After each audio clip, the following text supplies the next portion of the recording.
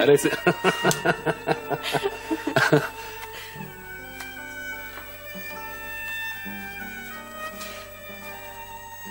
اشتهيت لك هذه التفاحة يا صهري العزيز. امضغها هنيئا أنزلها الله في عروقك مريئا. خذ التفاحة الحمراء مني لا ترديها فقد رويتها بدمي وهذا الري يحييها.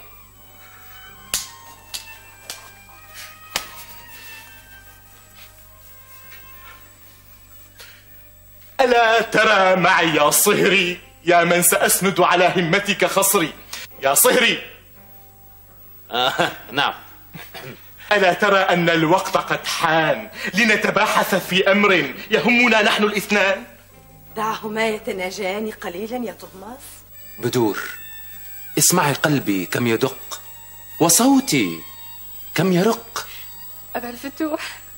صدقيني ما قلت غير الحق. لقد استبد بي الهوى فأنطقني العشق. لقد تجاوزا الحدود ولم أعد أحتمل المزيد. هون عليك. ما هي إلا لحظات ويتفرغ إليك. لقد مضى النهار بطوله وهو يتغزل. بصراحة بدأت أتململ. يا ناس يا ناس هل أصبح القال والقيل أهم من أحاديث المال؟ بدور بدور يا أطيب من نفس الربيع. يا, يا, أصفى من جنى النحل أما زال لي في قلبك محل أه هل لك يا زوجي الحبيب أن تهتم قليلا بوالدي فهو إلى جانبك قريب من؟ عمي العزيز؟ أنت هنا ونحن لا خبر عندنا؟ نعم نحن هنا منذ حضرتم ولم نغادر مكاننا. عفوك يا عمنا واعذرني إذا كنت قد تصرفت تصرفا مسيئا. فأنت تعلم أن الشبعان يفت للجائع فتا بطيئا. لا بأس. لا بأس.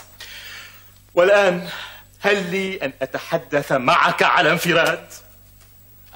على انفراد؟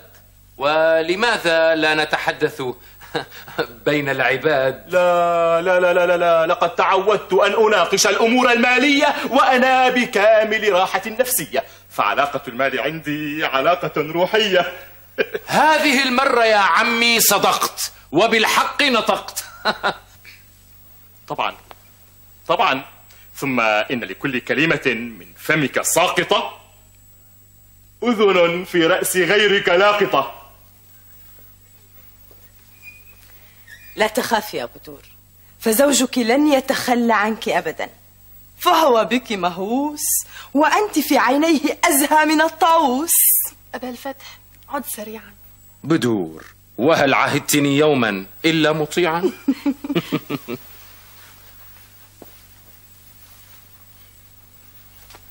كفاك طيشا ومراهقة كالعجوز المطلقة. ماذا تقول؟ أقصد دع عنك هذا للأيام اللاحقة. والآن أنت تقول إن المال متوفر معك بكثرة. أكثر من تمر البصرة. إذا ساعدتني سأكون إزاءك كالحمل الوديع. واعلم أن الزيت في العجين لا يضيع. آه. آه ما طلباتك يا عمي؟ متى وكيف ستعطيني المال؟ لأعيد لك زوجتك في الحال. آه. اسمع يا عمي. كي تبدو المسألة قانونية يجب أولا أن نجد امرأة تدعى ليلى. ليلى؟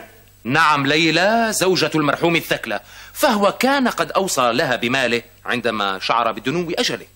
ما شاء الله. ومن أين آتيك بليلى هذه يا رعاك الله؟ المسألة بكل بساطة يا أبا الفتح نعم. عدتك ذكيا المعيا. فما بالك اليوم تبدو غبيا؟ إنما أقصد يا عمي يا أبا الفتح إذا كنت أريد أن أحتفظ لنفسي بالمال فلما أبحث عن ليلى أو حتى دلال؟ هدئ يا عمي من روعك وافهم ما أروم. سنتدبر أمر عطية على أنها ليلى زوجة المرحوم وقد بدلت اسمها إلى عطية. عندما اشتغلت في قصرك مربية عطية؟ وما شأن عطية في هذا الموضوع؟ آه مسألة شكلية. ولكنني أنا لا أحبها لا أحبها ولا أرغب فيها. ولكن عندما يعود المال إليها ستحبها ومن ثم تتزوجها.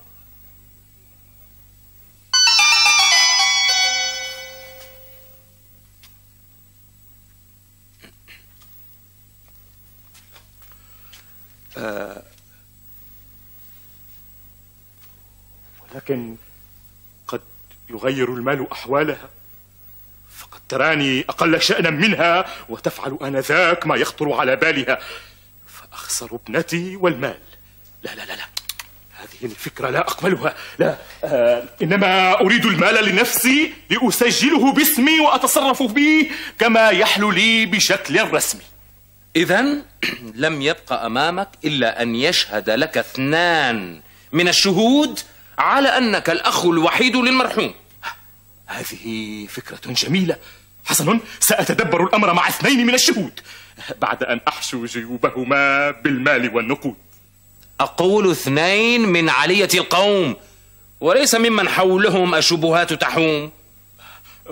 مثل من مثلا؟ مثل من آه،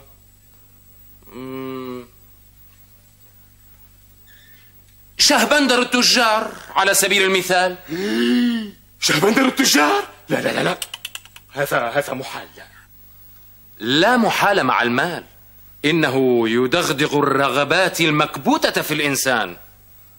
ولكن شهبندر التجار ليس بحاجة إلى مال حتى ولكن كم ترى أعرض عليه؟ اسمع. اعرض عليه نصف التركة. هذا نصف التركة؟ نعم نصف التركة. وعندما يشهد لصالحك سوف لن ينال من التركة ولا حبة البركة. حار معك يا أبا الفتح. حسن ومن هو الشاهد الثاني؟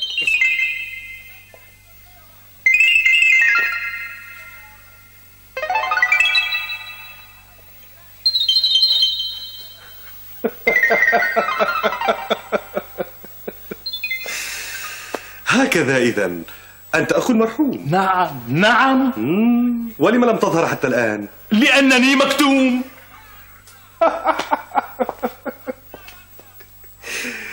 ومن يصدق هذا الكلام؟ ها؟ إذا كان الشهبندر أحد شهودي فالكل سيؤكد وجودي. أو تريد مني أن أشهد زورا وبهتانا؟ حاشا وكلا. ولكن العمل بالنية. وشهادتك لا تتعدى الحقيقة المبنية على هذه النظرية. كيف؟ الإنسان أخ للإنسان وكلنا أبناء لآدم عليه السلام. إذا فأنا حتما أخ للمرحوم المدفون تحت الركام. يا سلام. ولماذا لا أكون أنا مثلا؟ وأنت أيضا شقيقي وعندما تؤول التركة لي ستقاسمني يا صديقي. ماذا تقول؟ ما سمعت؟ نصف التركة لك والنصف الآخر لي إذا ما شهدت لصالح.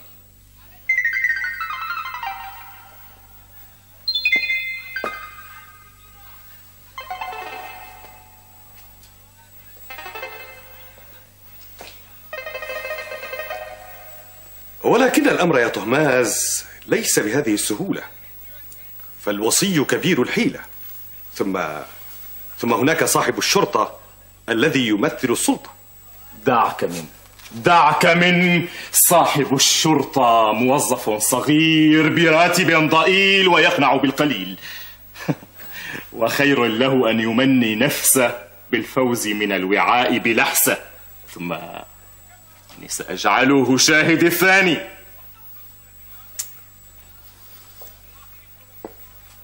ولكن الأمر يا طهماز يحتاج إلى إثباتات ووثائق وبينات. هذا يمكن تدبيره ببعض الليرات. فأمر كهذا يحتاج إلى نفقات. في هذه الحالة يجب أن تقطع لي العهد وتوفي لي بالعهد أيضا.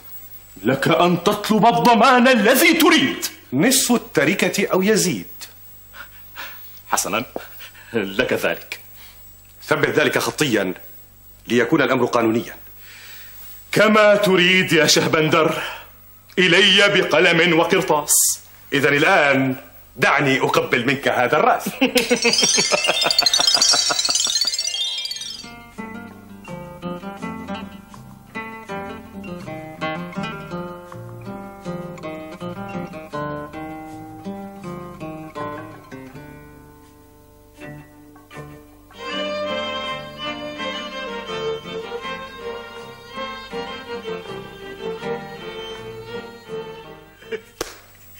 وأخيرا حصلت على غايتي ومطلبي فيا فرحي ويا طربي. صدر حكم القاضي لصالحي وأصبحت التركة ملكي وتحت جانحي. مبروك يا أبي. ولكن متى ستردني إلى أبي الفتح؟ صرت أخجل أن ألح. أه؟ أه ليس قبل أن أضع يدي على الجوهر الغالي. وأرقد فوقه الأسابيع والليالي. ألم تتفق مع أبي الفتح على ذلك وتحددا موعدا؟ لم أبحث هذا الموضوع لا اليوم ولا حتى غدا. أرجو ألا تراوغ يا طهماس من يدري هذه المرة فقد لا تسلم الجرة. ما شاء الله. حكم وأمثال. وما دخلك أنت على أي حال؟ معها الحق يا أبي. طبعا. فسعادة بدور هي غايتي ومأربي. إنما تسعين للتخلص من ابنتي كي تحكمي الطوق حول رقبتي. هذا لن يكون. هل فهمت؟ ولكنها يا أبي. اسكتي أنت ولا تتدخلي يا ابنتي. إذا فأنت تنوي أن تغدر بأبي الفتح. لا ولكن لا أظنك سترد له زوجته أبدا. أتهددين أم تتوعدين؟ إذا فاعلمي علم اليقين أن أبا فتحك الآن تحت رحمتي وفي قبضتي ولن يملك إلا أن يسلمني التركة وفوقها حبة بركة أما عن رد بدور فسيكون هذا الأمر رهن إشارتي ووفق رغبتي إن شئت فعلت وإن شئت امتنعت أتفهمين؟ أتفهمين؟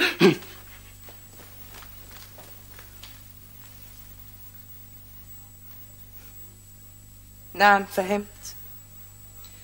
وكيف لا أفهمك؟ وقد أمضيت عمري كله أخدمك